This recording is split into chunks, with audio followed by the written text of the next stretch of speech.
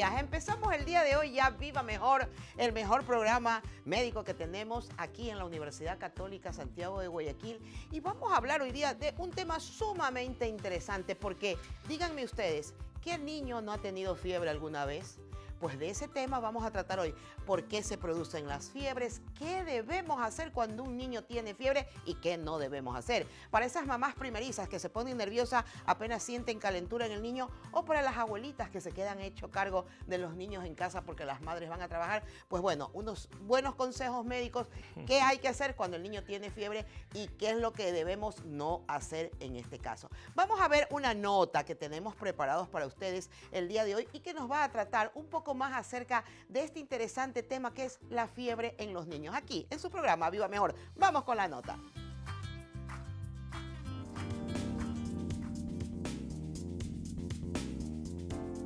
La fiebre es un síntoma muy frecuente en los primeros años de vida. Los niños comienzan la escolarización y especialmente durante el invierno tienen muchas infecciones, por lo que con frecuencia tienen fiebre. Hay que tener en cuenta que la fiebre es un mecanismo que tiene el organismo para luchar contra el ataque que supone la infección. La fiebre es la reacción del cuerpo, no la enfermedad. Cuando un germen nos ataca, el hipotálamo, que es el encargado de regular la temperatura corporal, aumenta nuestro calor por encima de sus niveles normales, que rondan entre los 36 y 37 grados en función de la persona. Si su hijo tiene fiebre, su temperatura corporal será superior a los 38 grados. Además de tener temperatura alta, también es posible que su hijo se sienta cansado, luzca pálido, tenga poco apetito, se muestre irritable, tenga dolor de cabeza u otros dolores y molestias, y no se sienta bien en general.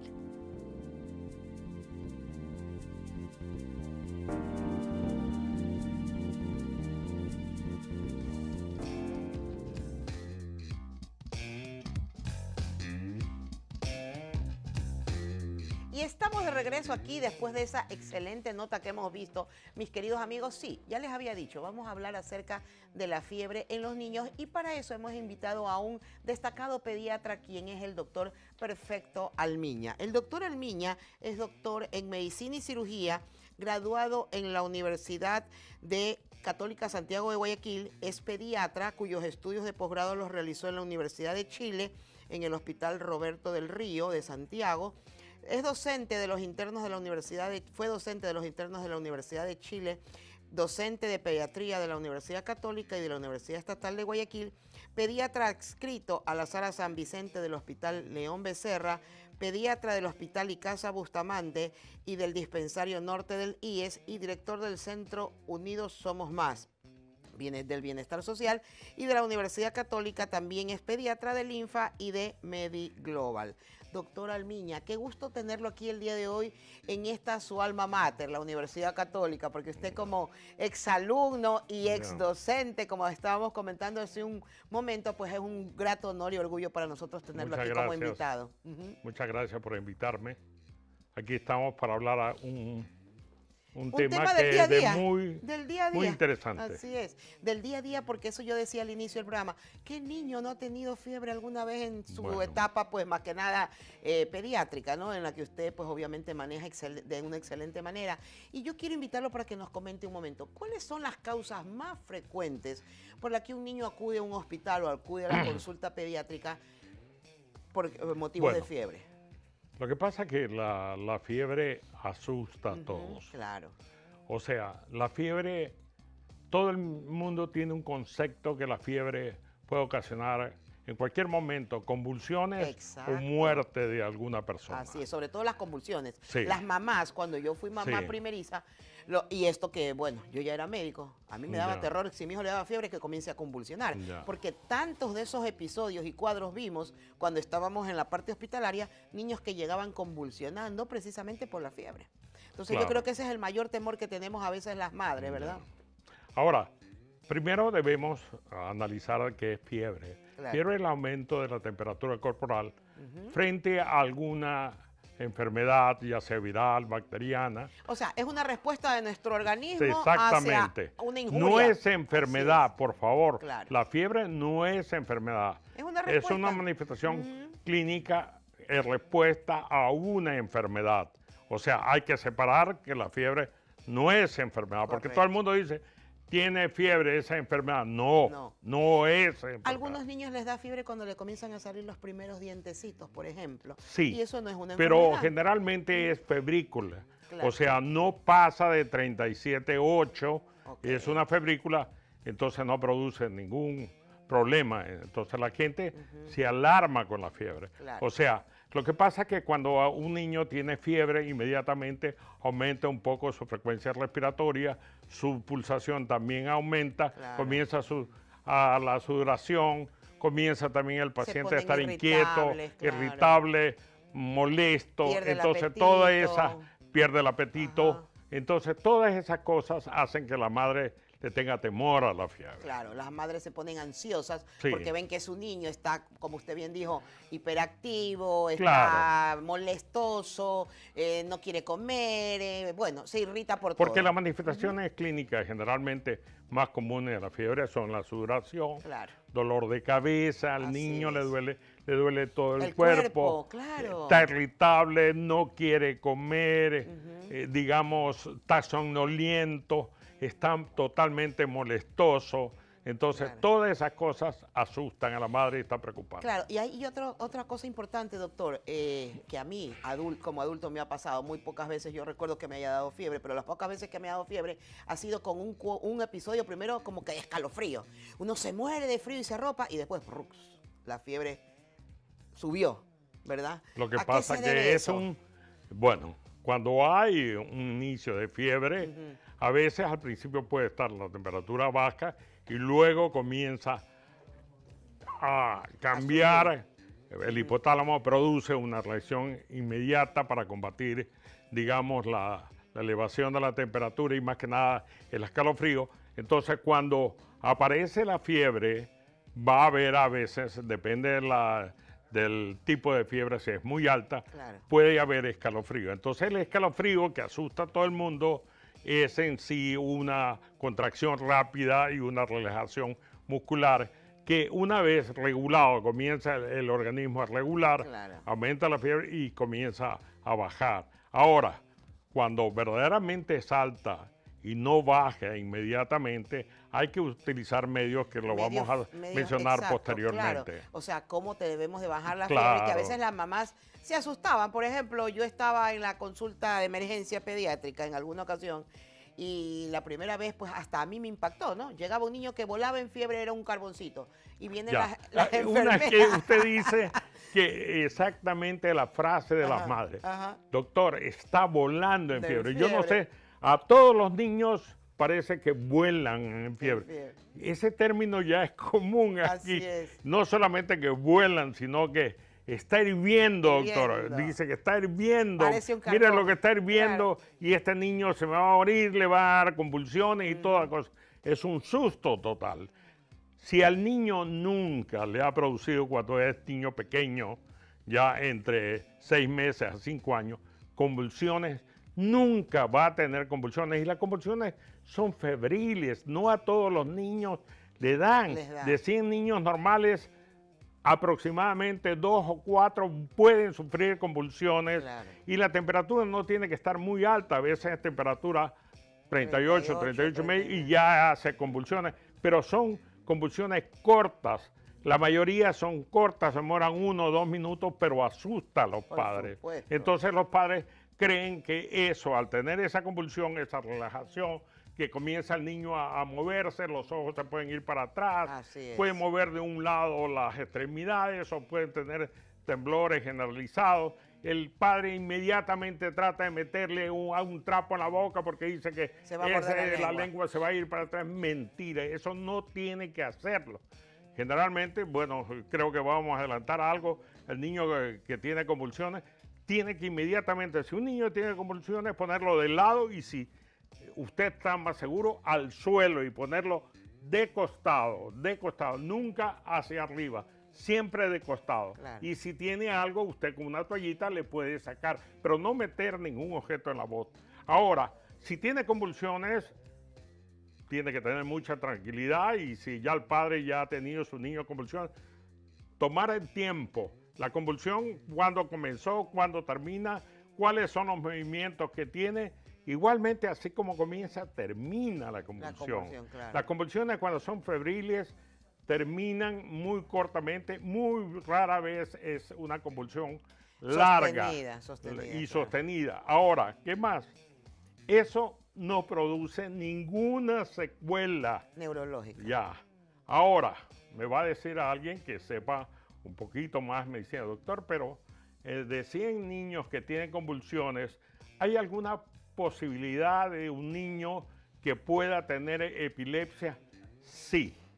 Pero es muy poca la probabilidad de 100 niños, uno podría tener algo de posibilidades de tener epilepsia. Pero el tener convulsiones febriles no, es que decirle ese niño va a tener epilepsia. Eso es, un error tremendo. el niño tiene tremendo. Tiene, digamos, tiene esas cosas que asustan y la, la madre cree que es algo tremendo. Ahora, una cosa muy importante, la fiebre en sí no mata. Todo el mundo dice, ah, me va a matar mi hijo, se asusta. Se va a descerebrar. Y no tiene ni 38 de temperatura y ya está actuando para bajar la temperatura. La temperatura en sí no debe tocarse. Ya cuando sube sobre 38,5, 39 y el niño está muy molesto, está desonoliento, está mal, la mamá lo ve muy sudoroso, muy inquieto, muy irritable, ahí sí, se le puede bajar la temperatura. Y vamos a saber, doctor, cómo bajamos la, esa temperatura. Lo invito para que en el segundo bloque vamos a hablar sobre esto, doctor. Cómo debemos bajar la temperatura, qué debemos hacer y qué no hacer para terminar con esta fiebre de los niños. Así que espérenos porque venimos con muy buenos consejos en nuestro segundo bloque de Viva Mejor. Ya regresamos.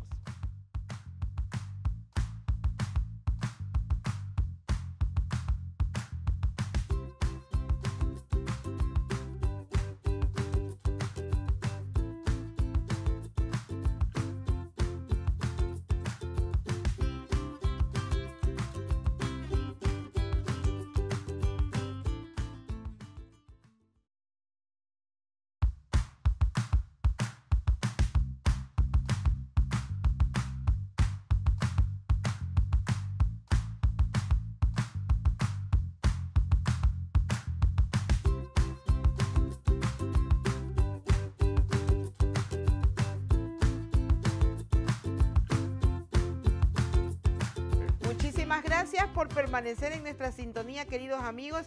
Y estamos hablando acerca de la fiebre en los niños con el destacado pediatra, el doctor Perfecto Almiña, a quien vamos ahorita a consultarle ciertos mitos que tenemos acerca de este síntoma, porque es una, un síntoma, no es una enfermedad, la fiebre. Doctor, tengo un primer mito que me dice, la fiebre puede ocasionar muerte en los niños. Ya usted mencionó algo hace un momento. La fiebre puede producir daño en una persona adulta. Generalmente la fiebre nunca sube más de 42 o 40 grados. O sea, para ver daño en un adulto tiene que tener temperatura sobre 41.7 sostenida por horas. Si una persona tiene esa fiebre durante unas 4 o 5 horas y no lo trata, esa persona puede tener. Pero en los niños He preguntado a gente mayor que ya tiene mucho más experiencia que, yo, gente fuera del país porque he tenido la suerte de salir a congresos, casualmente ahora me voy a un congreso, eh, y nadie me dice que los niños se mueren con, fiebre. o por fiebre. es diferente que la causa de la fiebre, esa es la que puede producir un daño para el niño y que puede ocasionar la muerte. La fiebre no, la fiebre es una defensa, por favor, entiendan que es una defensa. Es una y, y, el error gravísimo que cuando el niño está con fiebre quieren arroparlo, ponerle, no puede haber, digamos, la salida del calor hacia afuera porque tiene una ropa y le ponen una colcha que en vez de favorecer hacen que tenga más fiebre, y ese niño puede tener escalofrío en ese momento. Tiene que estarlo ligero, o sea, verdaderamente totalmente ligero, algo fresco, ropa, fresca. Totalmente ropa, liviana, y nada más. nada más. Máximo cuando hay mucha temperatura y si el niño está, digamos, un poco con escalofrío, ponerle una sábana sencilla, nada más, no colcha. Ok. Perfecto, doctor. Un buen consejo que nos está dando el doctor Almiña. Ahora vamos a la, otro un segundo mito, sí, doctor. Hay la fiebre interna en los niños. Esto es frecuente en las mamás, ¿no? No, eh, este, ¿por qué dice usted que tiene fiebre si el niño está fresco? No, es que tengo tenía fiebre interna. ¿Qué es esto de la fiebre interna? es un no existe, eso no existe.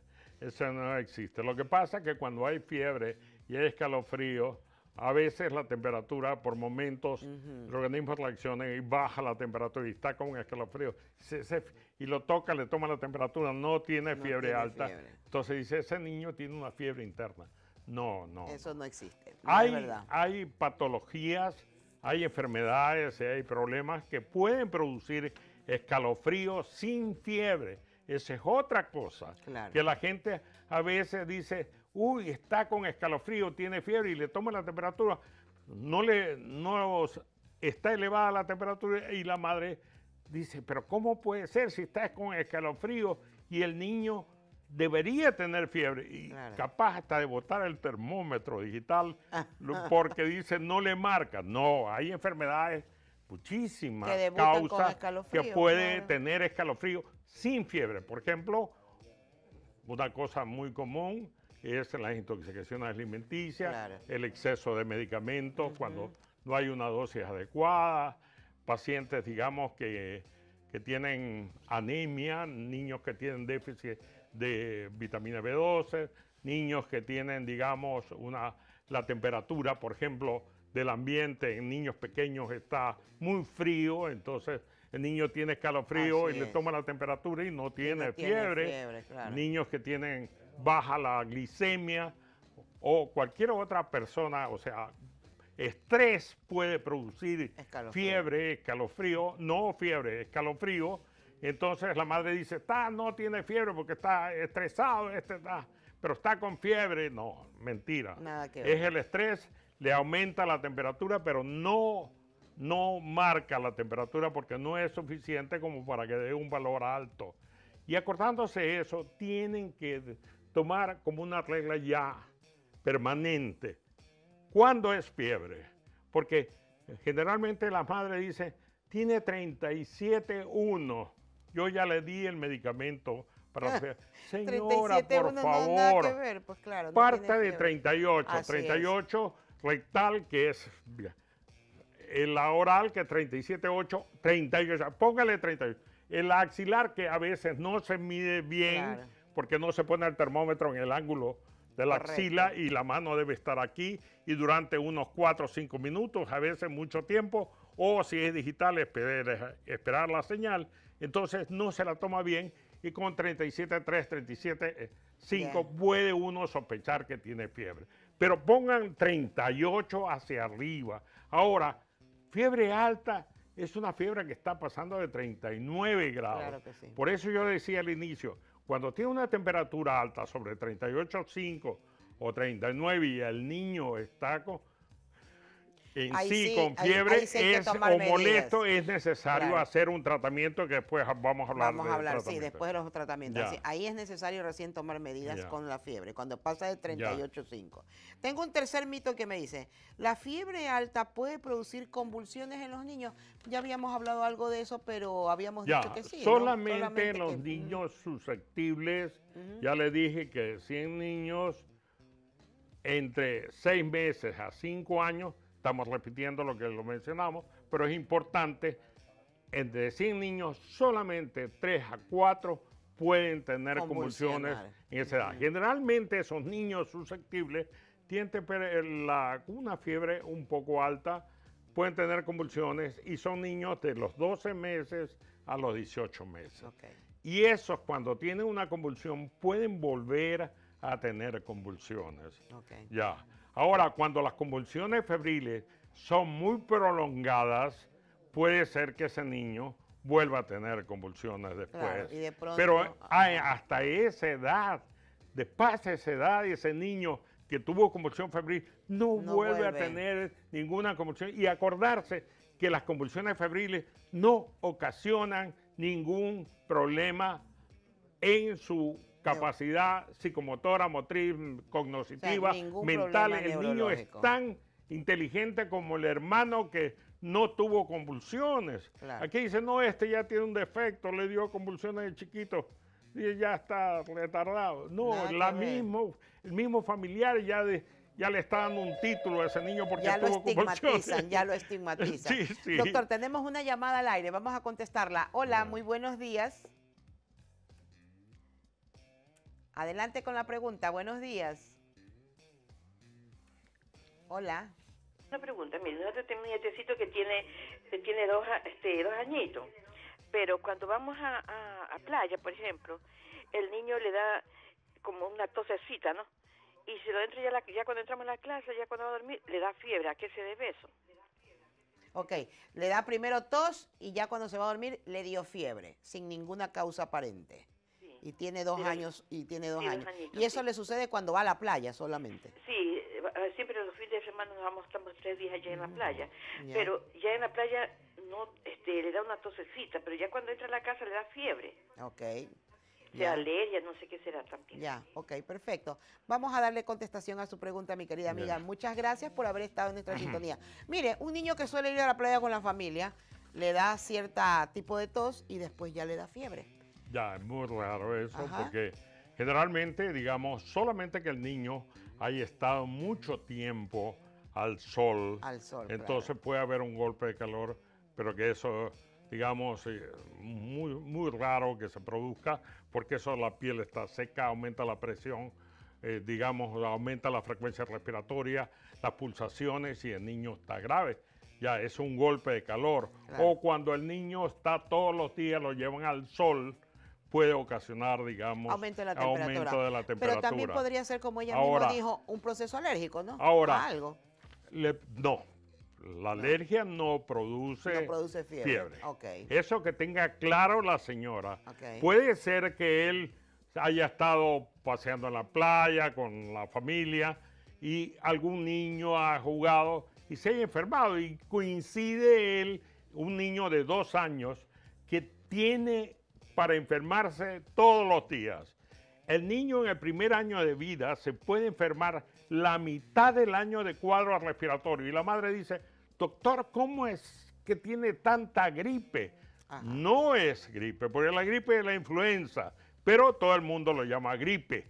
Ya, entonces, solamente de un germen, de un virus, hay 158 serotipos. El niño se puede enfermar todo el tiempo. O sea, son más susceptibles Entonces, a las si el niño ha tenido fiebre, o puede ser que ha estado expuesto mucho al calor, o eso, que digo, se frecuente días al calor, o sea, al sol, ya, que podría producir. O el niño se ha enfermado. Ahora, los niños se pueden enfermar horas y después ya desapareció esa Y en la noche están perfectos. Y están totalmente bien. Claro, algo Tanto es que a veces no dicen los médicos, pero hay niños que uno no sabe que está enfermo.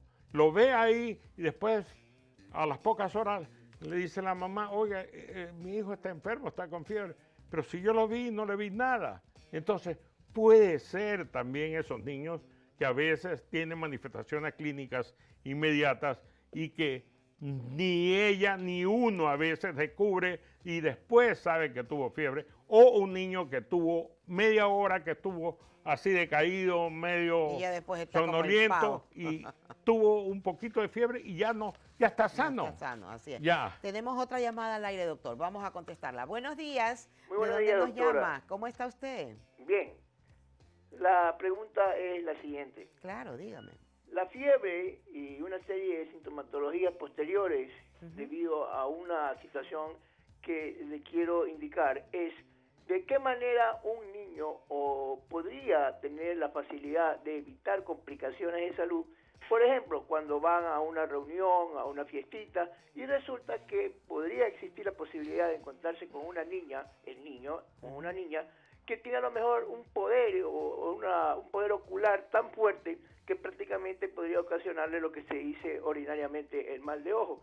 La pregunta es, ¿qué grado de facilidad pueden tener los niños cuando podrían, a lo mejor, eh, por una energía ocular muy poderosa de una niña, podría ocasionarle fiebre después de la fiesta? Que tengan una buena, buen día. Gracias. Gracias, muy amable. Bien, este, está un poco inquieto el señor que nos llama porque dice que ¿Qué pasa si un niño va a una fiesta y se encuentra con una niña que de pronto con una fuerte impresión o mirada, el mal de ojo él hablaba y le da fiebre después? Bueno, eso es bastante discutido ya. Así es. Es bastante discutido. Eso es lo que piensa porque puede ser que el contacto depende porque los niños, más que nada los niños pequeños, niños menores de dos años, y recién a los dos años comienzan ellos a tener su propio mecanismo inmunológico y entonces su propia defensa. Y a veces dura un tiempo, los primeros años, para que él tenga algo de defensa. Ahora, eso no le quita que se va a enfermar. Uno cuando está en el grupo, cuando está en un ambiente cerrado y hay muchos niños, la mayoría de los niños se enferman. Más que nada niños cuando están en, en maternal, que son niños pequeños y se unen bastantes niños. Se, enferma Pepito, se enferma toda la, familia.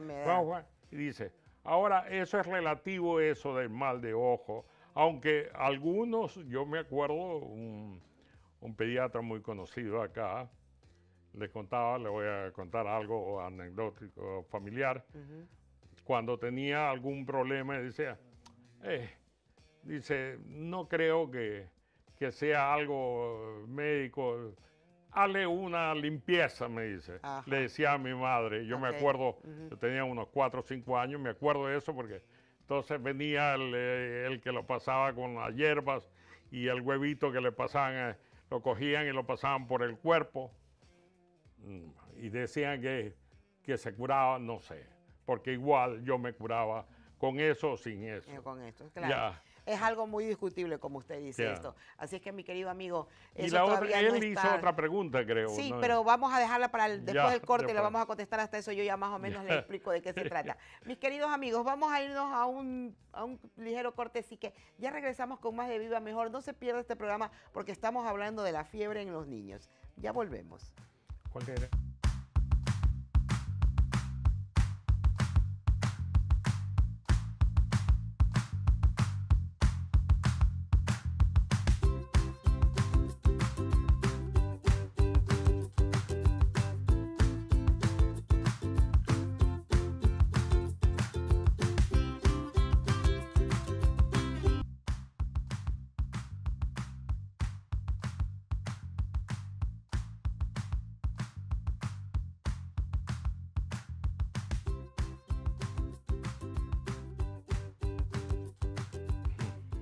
Amigos televidentes, estamos de regreso en Viva Mejor y quiero darles un consejo o recordarles algo, que MEDEC es una empresa que opera en el sector de la salud brindando servicio integral de medicina prepagada.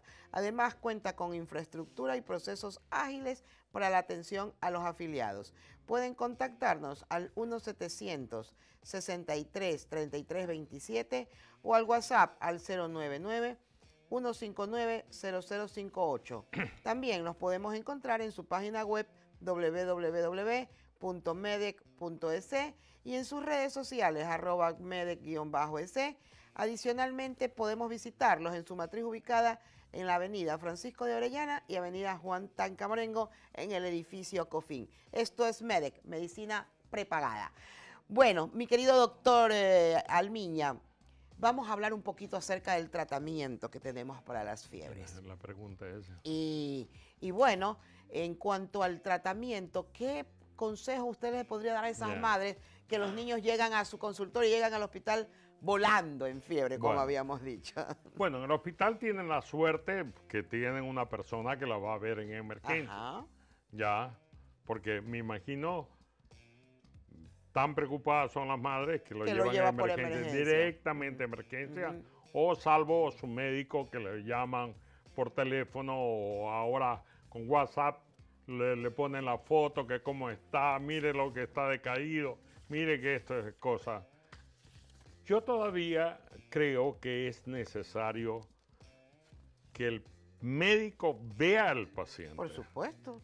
Una cosa es. ver una foto, una cosa es tener una opinión por teléfono, otra cosa es que, por ejemplo, madres que aparte de la fiebre, se tienen tos, escúchalo como tose. Tengo que ocultarlo, tengo que verlo. Tengo...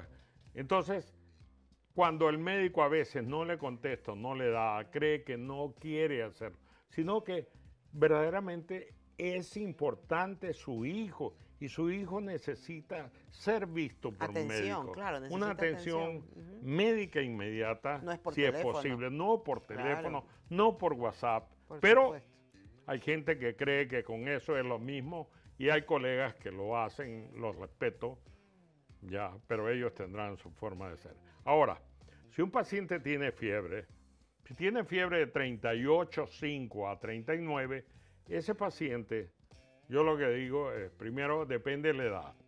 Si es un paciente menor a 3 meses y tiene más de a 38, ese niño tiene que hacerse ver inmediatamente porque los niños pequeños tener el tren, no, no solamente porque puede deshidratarse un poco, sino que es una enfermedad seria. Entonces, puede ser un cuadro viral o puede ser un cuadro bacteriano, entonces tiene que ser visto por médico. Niño de tres meses, de recién nacido, a tres meses, tiene que ser visto por médico. el paciente que pasa de tres a seis meses, uno puede esperar a veces 24 horas o indicar de acuerdo al peso, porque la madre a veces dice, yo le he dado, pero tiene que saber el peso del niño, porque las dosis se dan de acuerdo, al peso, ya y se debe dar generalmente cuando pase más de 38 y medio, 39. Yo particularmente, yo no mando cada cuatro, cada seis horas, como algunas personas algunos colegas mandan cada cuatro cada seis horas. Yo digo, señora, usted tiene que tomarle la temperatura cada seis, cada ocho horas y si tiene esta temperatura sobre 38 y medio, haga lo siguiente. Le Dele los medicamentos que usamos, paracetamol. ¿Cuánto está pesando, señora? ¿Cuánto pesó la vez pasada que vino a consulta? Entonces, de acuerdo a eso, yo le indico la dosis. No es de dar la dosis. Los medicamentos a veces pueden tener efectos secundarios. Por supuesto. Mire, leí un artículo hace poco, unos meses, mm, ya, que decía que las dos, los dos medicamentos que más daño hacen en niños son la codeína, que es para la tos, para la tos. y el paracetamol. Y hablaban del paracetamol una serie de cosas que cuando se da apresuradamente a dosis muy altas, eso la mayoría sabe que puede producir lesiones hepáticas, que puede intoxicar y ahí puede peligrar. No, no es la enfermedad lo que le puede ocasionar la muerte. las complicaciones. por el exceso. Ahora, otra cosa, las madres le dan los AINES, o sea, le dan naproxeno, ibuprofeno. Mucho cuidado porque también hace poco un artículo que yo me cogió de sorpresa a unos meses, pueden disminuir el mecanismo inmunológico. Entonces, una enfermedad que aparentemente no es grave, lo puede hacer porque baja su defensa y ese germen puede producir mayor daño. Así que mucho cuidado con ibuprofeno, naproxeno y todos esos medicamentos. AINE se llama, antiinflamatorios no esteroides que se llaman, entonces, por favor, no le den si no es algún médico que le prescribe un caso especial. Claro. Entonces, evitarlos en ya lo más hay que evitar. Ahora, peor la, la, aspirina. La aspirina en un niño no debe darse no después de los 18 años. Los niños tienen 18 años, o joven que tiene 18 años, ahí se le puede dar aspirina. Porque puede producir complicaciones, es un síndrome eh, que es muy grave, que se llama síndrome de Reye, que es un problema muy serio y entonces el niño se puede morir, no por la enfermedad, sino por, la, secuela de la aspirina. por favor, nada aspirina. Así es. Ahora, o sea, no hay que automedicar a los niños. Y el paracetamol, generalmente, darlo después de un niño que tenga seis semanas o tenga tres meses, no darlo inmediatamente. Y el, el ibuprofeno, si lo dan después de los seis meses. Antes no. Todo bajo prescripción Ahora, médica. Lo ideal sería darle la dosis adecuada. De acuerdo el paracetamol se da de 10 a 15 miligramos por kilo dosis, ya, y dependiendo si tiene fiebre o no. Y el ibuprofeno se da de 5 a 10 miligramos por kilo ya, por eso digo, bajo prescripción médica, estos medicamentos solamente se deben eh, dar bajo otra prescripción cosa médica. vamos a contestar una llamada, doctor, que tenemos al aire, un ratito. Amigos, vamos adelante con la llamada, por favor. Muy buenos días, doctor. ¿Cómo está usted? Bien, solamente para hacerle una pequeña pregunta en relación al tema. Claro. Teniendo en cuenta los efectos nocivos de determinados medicamentos que muchas de las veces se utiliza de manera desaprensiva, ¿qué grado de importancia le da el especialista eh, que está en este momento en el uso de la palabra? ¿Qué grado de importancia le ofrece o le otorga al hecho cierto de que hoy en día, aparte de la farmacología, existe también la homeopatía? ¿Qué grado de influencia, qué grado de repercusión positiva podría existir el aplicar la homeopatía en niños para evitar problemas posteriores debido a los medicamentos. Gracias. A usted, muy amable, gracias por habernos sintonizado. Bien, este, aparte de las prescripciones médicas que pueden tener, ¿qué opina usted de la homeopatía como tratamiento para los niños? Bueno, yo la respeto, la respeto, eh, como toda ciencia, Claro. Ya, pero no la, no, la, comparte. No la, no la comparte, no, la aplico. Así que eso es todo lo que puedes decir. Claro. Ahora, una cosa importante que para concluir el asunto de tratamiento, no pasa nada al niño cuando tenga 38, 39 de fiebre. Darle, darle el medicamento, la dosis adecuada, de acuerdo a su peso, su edad y cuando debe darse, ya y bañarlo con agua tibia durante 15, 20 minutos. Eso le iba a decir, los medios Eso ayuda muchísimo, ayuda muchísimo a bajar la temperatura. Luego de eso, 15, 20 minutos, lo seca la madre, le pone ropa ligera, le pone una, una sabanita y le puede poner sin ningún problema aire acondicionado, ventilador. Ya. La gente se asusta cuando yo le digo póngale el aire acondicionado. la temperatura no va a hacer eh, que la variante es esto con el, aire acondicionado o con el ventilador, que vayan a alterar la enfermedad del paciente. Si el paciente tiene un virus o tiene una bacteria agresiva, siempre va a ser agresiva. Y si tiene una, una un virus, una bacteria que no son agresivas, el ventilador, el aire no la va a hacer agresiva. Es como, por ejemplo, muchas veces aquí las madres dicen, de noche abrígalo por el rocío de la noche. Se estudió sobre eso. No tiene ninguna importancia, el rocío. Más la gente se abriga que la noche que tiene que estar protegido porque eh, se puede enfermar. Si una persona le tose delante o algún familiar llega o juega con ese niño, con, con niños enfermos, se va a enfermar. Igual. Se va a enfermar Nada tiene igual. Que hacer el aire acondicionado o el rocío. Y es verdad, mi querido doctor. Pero con esos consejos que ustedes y esas observaciones que ustedes nos están haciendo, vamos a, a ampliarlos un poquito más en nuestro siguiente bloque. Así es que espérennos porque ya regresamos en un momento con más de Viva Mejor.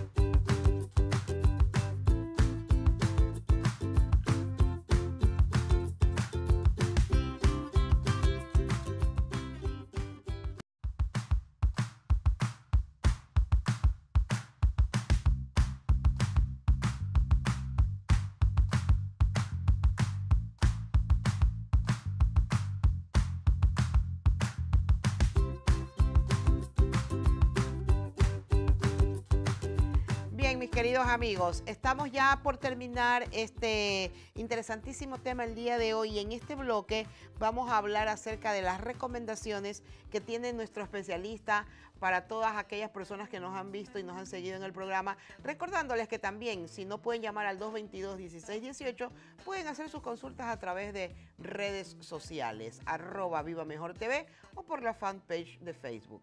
Mi querido doctor Almiña, recomendaciones para las, mamás, las abuelitas, las personas que están a cargo de los niños, que están en su casa en un momento con fiebre, como usted bien nos dijo, si no pasa de 38 no hay por qué darle un antipirético, eh, no abrigarlo mucho. ¿Qué otras recomendaciones usted nos puede dar? Primero, digamos, aparte de eso, estar eh, al tanto de que los cambios al niño. Por ejemplo, en la noche muchas veces los niños se despiertan están inquietos, lloran mucho, están irritables, están sudorosos, ya están calientes. Ahora, por favor, ah, gracias por hacer esta pregunta. Al tocarlo y el niño está caliente, ustedes no saben qué temperatura tiene. Claro, hay que cuantificarla. Lamentablemente las madres lo tocan aquí, lo tocan acá, soplame un poquito, está con fiebre toma el medicamento. No es así. Tiene que tomarle la temperatura. Ahora, tomándole la temperatura, saber qué termómetro digital usar para la boca, un termómetro y marcarlo, señalarlo que este para la boca y otro para rectal si es que tienen niños menores de tres años. Ya. Pero si ya son grandes, solamente para la boca. Los niños pequeños, ya, le puede poner limpiar siempre el digital, eh, el termómetro digital, limpiarlo con alcohol, secarlo o con agua tibia, con jabón y lo seca, después lavarlo y lo seca y ponerlo solamente máximo 1 o 2 centímetros en el recto. Ahora, es importante saber cómo colocarlo. La madre para ponerle en el recto a un niño pequeño lo puede poner en, sus piernas una mano sosteniendo su, su, espalda y con la otra puede, o que en esa misma la puede abrir el, ano y ponerle el termómetro y luego con la otra mano espera, sostener el, termómetro y por favor tenerlo hasta que suene. Y luego lo saca y siempre apuntar la temperatura. Es una ayuda decirle al médico, oiga, mi hijo tuvo tanto de temperatura. Así es, es correcto. Nos ayuda muchísimo. Nunca la madre dice, estaba con fiebre y le tomó la temperatura. No, doctor. ¿Y usted tiene termómetro? Sí, doctor.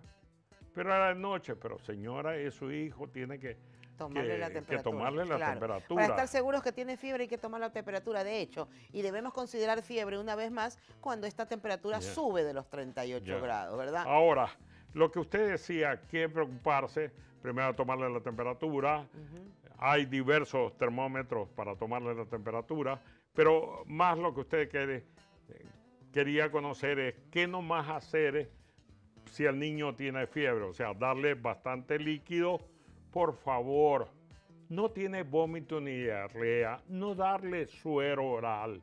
El suero oral tiene electrolitos, sodio, potasio, cloro. Y el niño, si usted le da agua, no está perdiendo tanto sodio, potasio, cloro y no necesita suero oral, por Simplemente favor. agua, hidratarlo La madre viene a la consulta con un suero. Señora, ¿está con vómito, diarrea? No, doctor, está con fiebre. Entonces, no, por favor. Claro, no hay que usar Lamentablemente algunos personas, si viene con eso es porque alguien, algún colega le haya dicho... O porque la vecina lo usó con su hijo que sí tenía vómito, como usted dice, diarrea, más fiebre y le dio, ah, no, dale. Entonces, no, pues simplemente si tiene fiebre, no tenemos por qué darle el suelo oral, porque usted lo dice, tienen electrolitos y no se pierden electrolitos con la fiebre. Otra cosa, quitar la ropa, que sea, no esté muy arropado, el ambiente, que sea, si tiene aire acondicionado, póngalo en el aire acondicionado, ya, bañarlo, si usted, ah, no, que está con fiebre, no se lo puede bañar, sin necesidad de la temperatura alta, usted tiene que cumplir las normas diarias de baño una o dos veces al día. Claro, claro que sí. Ya, tiene que bañarlo. Niño se va a sentir mejor. Los niños cuando están agripados, según la madre, o resfrío común, yo lo menciono, inmediatamente no necesita baño, le quitan el baño. Y señora, le digo, y su niño tiene como un salpullido. Es que, doctor, yo no lo baño cuando está con esto. Es que se va a enfermar más. Por favor, no pasa eso. Tienen que bañarlo. el niño se va a sentir mejor con el baño. Por supuesto. El agua, ropa y controlar la temperatura cada 6 o 8 horas. Y solamente dar medicamentos sobre 38 y medio. Si tiene 38.4 a 38, báñelo. Igual que eh, si tiene la temperatura alta. Y si tiene menos de 38, preocúpese de que esté con ropa ligera, que tenga el aire acondicionado, que le dé líquido y déle de comer. Muchos niños comen, están con fiebre alta, y parece que no tuvieran nada. Se ríen de nosotros. No lo ve y, si no es por el informe de enfermería que tiene y tengo que yo tomarle temperatura para comprobar, 39 y está que salta. Que, ¿Y para qué me lo trae, señor? Doctor, está con fiebre con fiebre y se le toma la temperatura. Tiene, fiebre, pero está, tiene fiebre, está activo totalmente. Verdaderamente los niños activos, uno está feliz porque... Ah, otra cosa importante, cuando usted le baja la temperatura y el niño eh, vuelve a hacer lo que es siempre, que se tranquila. Claro. Generalmente la enfermedad no es una enfermedad agravante. Ya. Pero si al niño le baja la temperatura a una temperatura normal y el niño sigue decaído, el niño está irritable, el niño está muy molesto, está mm, eh, muy inquieto, por favor, no deje de consultar al médico. y si es de noche, no pierda tiempo. Ah, es que mi pediatra tiene que verlo. Llévelo a emergencia, del hospital más cercano y cuando su pediatra usted lo, se ponga al tanto, vea, lo tengo doctor acá, ya me lo acaban de ver, venga por favor, ah, ya, yo voy. Y ya es atendido su emergencia, no, mientras llama al pediatra, mientras el pediatra va al sitio, mientras la madre hace todo tiempo. para movilizarse, pierde tiempo. Los niños no hay que perder tiempo, tiene que ir inmediatamente a un sitio, de, atención, por favor. No pierdan tiempo. Así es. Eh, mi querido doctor, y en cuanto a las, a las mamitas, eh, si por decir, vamos a suponer, no tienen los medios como para ir a un hospital y todo, eh, y llaman al médico y este les aconseja, ok, bájele por medios físicos la fiebre al niño, ¿cuánto tiene? Tiene 39, ok, dele el paracetamol. Y, y antes del paracetamol, por medios físicos, bañarlo, ¿verdad? Ya, pero solamente Tómenle la temperatura, señora, si tiene más de 38 y medio, bañelo. Si tiene 38,4 a 38, no le dé medicamento, solamente bañelo. Bañelo. O pañitos fríos, ¿verdad? No, no, no, Pañito frío es lo mismo que cuando usted toma la temperatura aquí con eh, estos de mm, infrarrojo, que son de que usted lo sí. que son para ver, son ver digamos, el calor a nivel de la arteria temporal, usted lo hace así, ya. Pero no es A veces, a veces, digamos, aquí nosotros, en los lados tenemos arteria, aquí no hay nada, ya. Eso casi no se usa, así ¿Qué significa? Que lo único que lo está refrescando, no le está bajando la temperatura. Yo lo veo que la madre le pone un pañal aquí, le pone otro aquí mojado. Debajo de las axilas. Solamente el cuello y la, y la ingle es a donde pasan los, los brazos, eh, los, los vasos, bien grandes, entonces ahí puede, digamos, ponerle, pero no, pero no bañelo totalmente. O por último, hágalo de la de las abuelas que cogen una esponja con agua tibia, lo tienen ahí sentados, echan, echan, agua, echan agua durante 15, 20 minutos con agua tibia. mi querido doctor, quiero agradecerle muchísimo por haber compartido sus experiencias con nosotros el día de hoy. A las personas que nos han visto, pues agradecerles mucho por habernos llamado y recordarles que este programa se retransmite esta noche a las 7 por este su canal universitario. Quiero agradecerles mucho la sintonía y recordarles que aquí en Viva Mejor los médicos siempre estamos yendo a sus casas. Soy la doctora Gilda Moncayo y me despido de ustedes hasta el día de mañana. Muchas gracias por habernos sintonizado.